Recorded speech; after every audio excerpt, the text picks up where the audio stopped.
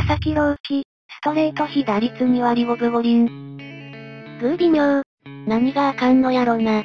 回転数。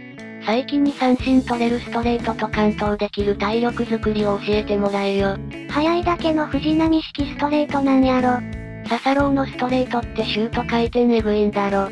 藤川、佐々木くんの握りは2本の指をまっすぐボールに立てるので、ちゃんと指にかかってればこれ以上ないストレートが決まるけど、そもそもちゃんとその状態を維持し続けるのが難しくて、少しでもかからないと途端にシュート回転でクオリティが下がるって言ってたな。いかに手を抜きながらロッテと密約したボス条件満たすかしか考えてないやろ。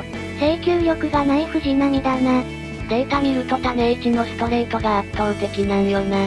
WBC 強化試合でもオーストラリア程度に結構捉えられてたしもう一段階成長しないとメジャーでは通用戦やろな本人がすでに天狗なのが気になる。こいつより最近のがすごく見えるわ。去年で高橋でポジってた中日ファンと同じこと言ってる阪神ファン笑い。普通に手を抜いてるだけや。ちなみに山本由伸が2013年に日本で1割7分6厘で2024年にメジャーで2割5分な。昔ベースにいたクルーンを思い出すよなあの当時にしてはめちゃくちゃ球速あったのにあヘタン赤星にも普通に綺麗にヒット打たれてた。ストレートに山張ってるんじゃねえの？